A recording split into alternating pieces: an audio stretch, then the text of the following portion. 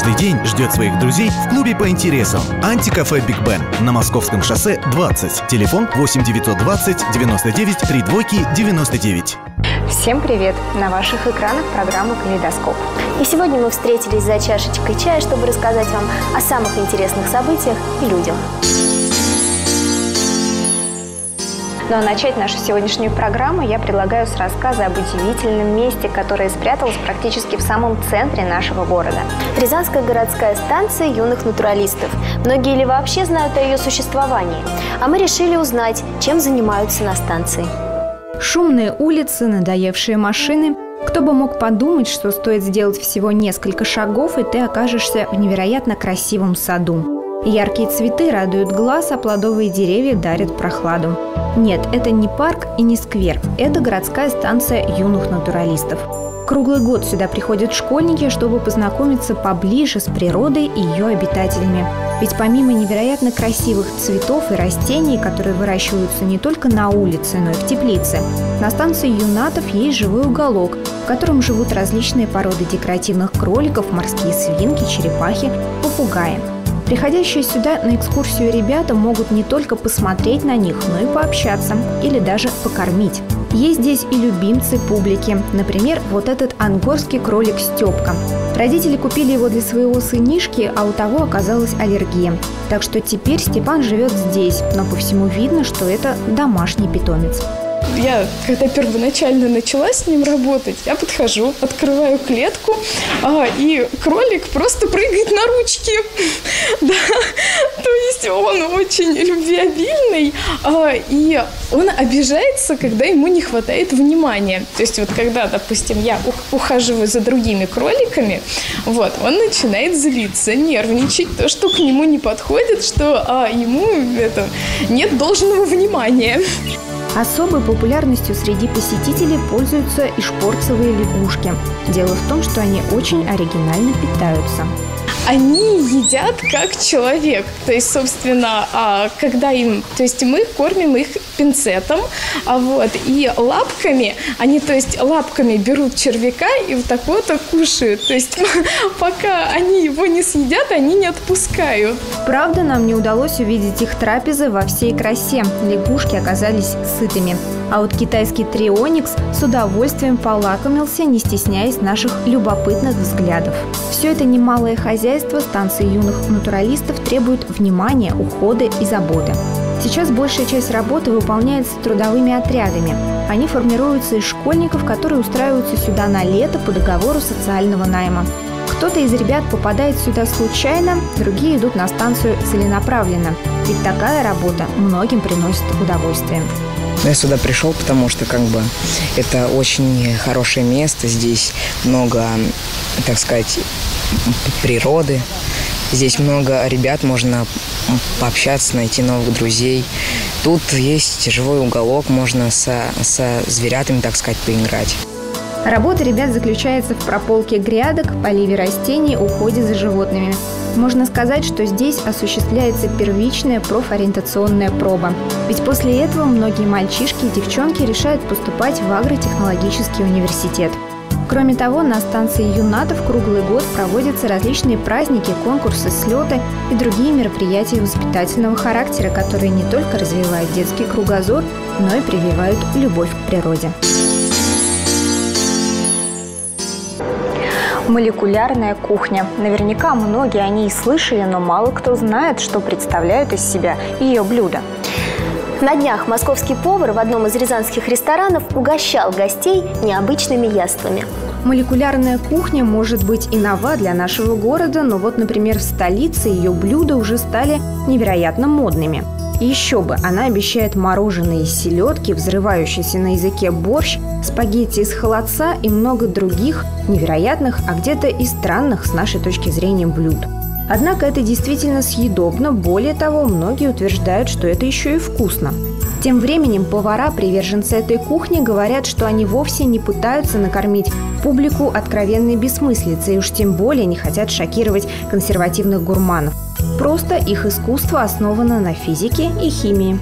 Вообще молекулярная кухня, она подразумевает под собой э, нестандартное, как сказать, вмешательство в продукты. Вот. Нестандартное приготовление формы, как, ну, как я повторюсь, там пенки всякие, не знаю, там безе делаем, потом мармелады из различных. Вот а сегодня будет, я буду представлять мармелад из свеклы. Ну и так все в этом духе.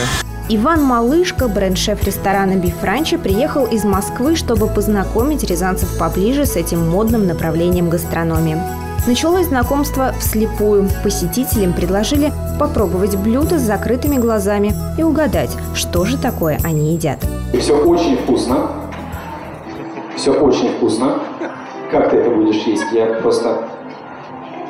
Просто, просто понюхаем сначала.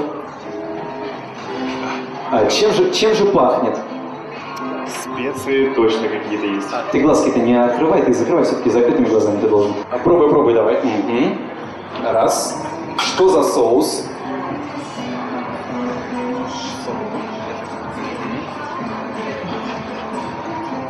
Что же это такое? Вкусно. Очень вкусно, но, но, но как бы в любом случае тебе нравится. Петрушка, да, в каком-то соусе. Соус сложно. Ну, молодец, в любом случае. Открывай глаза, да, это, конечно же, была, естественно, капуста, петрушка, ты угадал, и э, специальный э, соус от нашего прекрасного шеф-повара. Оказалось, что этот соус был сделан из обычной свеклы.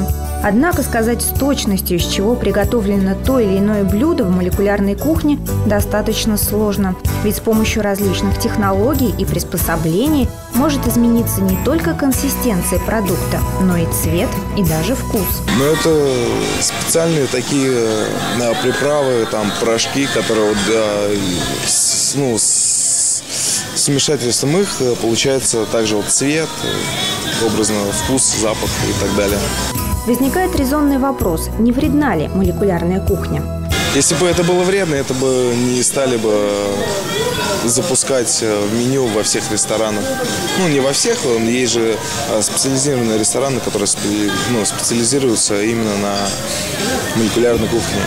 Иван доказал это. На наших глазах кусок обычной горбуши из нежно-розового превратился в фиолетовый.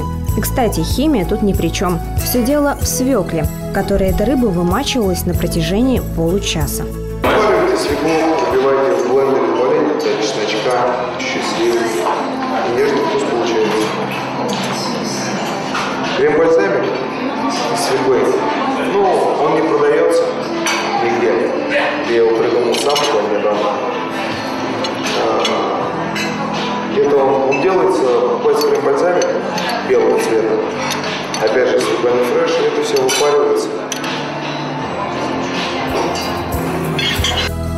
одно необычное блюдо, приготовленное московским профессионалом – суп из раковых шеек. И вроде бы все ясно и понятно. Раковые шейки, яблоки, сельдерей. Но вот вкус нежного мусса, в котором купаются эти продукты, описанию не поддается. Одним словом, молекулярная кухня.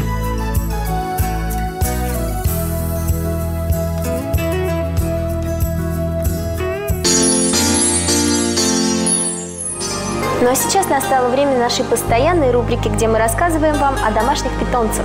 И в нашей сегодняшней программе мы расскажем, пожалуй, об одной из самых удивительных пород кошек – о канадских сфинксах.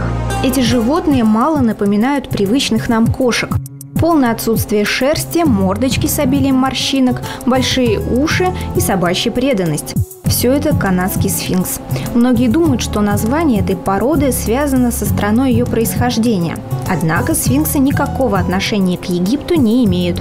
А такое название порода получила из-за того, что в древних гробницах часто находили изображения голых кошек. Однако, если они и существовали раньше в Древнем Египте, то до наших времен они не дожили. История же породы канадских сфинксов совсем недавняя, а началось все с того, что в Канаде был найден котенок, у которого полностью отсутствовала шерсть. Его на протяжении длительного времени лечили от лишая. Думали, что это у него, в общем-то, лишай.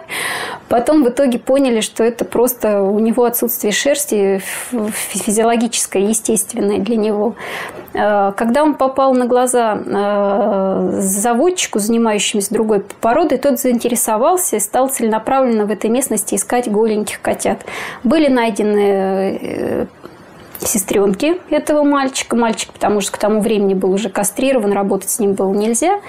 Вот. И именно с этих вот голых девочек началась история породы. В процессе ее развития происходило скрещивание с породами американская короткошерстная, с девонрексами, потому что пул исконный вот э, мутантов природных, как бы голеньких, э, был очень маленький, поэтому было необходимо вливать новые крови. Татьяна – один из немногих заводчиков сфинксов в Рязани. Увлеклась она этой породой случайно. Просто понравилась фото котенка и захотелось купить именно эту кошечку. Ну а потом она просто влюбилась в породу и решила заняться ее разведением всерьез. Для этого, конечно же, пришлось пройти обучение, ведь профессиональная работа с породой невозможна без знаний. Питомник создается ведь не для того, чтобы получать определенное количество котят или прибыль, как многие думают. Э, работа питомника состоит в том, чтобы получать, улучшать породу, чтобы получать животных э, более здоровых, более гармоничных, соответствующих максимально стандарту породы, развивать ее. Поэтому э, продажа котят, она для заводчика, для хорошего – это беда. В общем-то, потому что с ними очень тяжело расставаться. Дети живут с нами долго, как минимум до трех месяцев, пока не закончится вакцинация. И, в общем-то, это неизбежное зло для нас. Кажется, Татьяна может часами говорить о своих питомцах, и действительно в них невозможно не влюбиться. Как и все породы, сфинксы обладают присущими только им чертами характера. Мэнкун – это как бы Э, ленивый немножечко увер... и очень уверенный, спокойный в себе гигант. Да? Абиссинец – это обезьянка.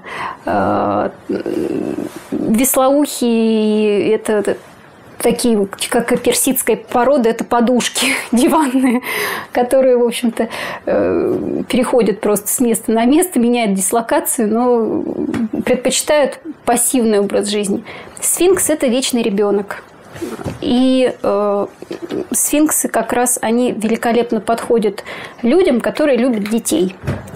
Они э, очень сильно привязаны к своим э, хозяевам. И это именно любовь такая, скорее, либо как ее можно сравнить либо с собачьей привязанностью к хозяину, либо с любовью именно ребенка к матери. Они обнимаются, они целуются, они встречают вас с работы лезут в сумку посмотреть, что вы принесли вкусного или какую игрушку вы купили э, тяжело очень переживают разлуку, с, с удовольствием путешествуют со своими владельцами на любом транспорте. То есть им э, главное, чтобы рядом был любимый человек. Татьяна говорит, что эта порода абсолютно лишена агрессивности, и слухи о том, что сфинксы бывают злобными, не имеют под собой реальной почвы. Правда в том, что сейчас эта порода становится очень модной, и как следствие появляются люди, которые делают на этом деньги. Конечно, они не озабочены, как настоящие заводчики, воспитанием животных определенных качеств. А ведь именно это в сфинксах самое главное. Они могут ужиться абсолютно с кем угодно. Они замечательно дружат с морскими свинками, с крысками, с птичками, с замечательные друзья для собак э, и партнеры для детей в играх. А еще это невероятно умные животные и чуть ли не единственная порода кошек, которая поддается дрессировке. Кот у нас, когда остается один, может достать пульт от телевизора, включить себе его и смотреть с удовольствием. Э, очень любят интеллектуальные игрушки. Есть сейчас такие интерактив, интерактивные всякие, э, где нужно там из, из коробочек там можете делать что-то, доставать какие-то мячики по лабиринтам гонять. Прекрасно понимают человеческую речь и по своей натуре, я уже говорила, кажется, они больше похожи на собак. Вот такие удивительные кошки. Если вы давно мечтали о верном, ласковом друге, то стоит задуматься над тем, чтобы завести именно канадского сфинкса. На этом наша программа подошла к концу. Увидимся с вами ровно через неделю в калейдоскопе новых интересных событий. До встречи!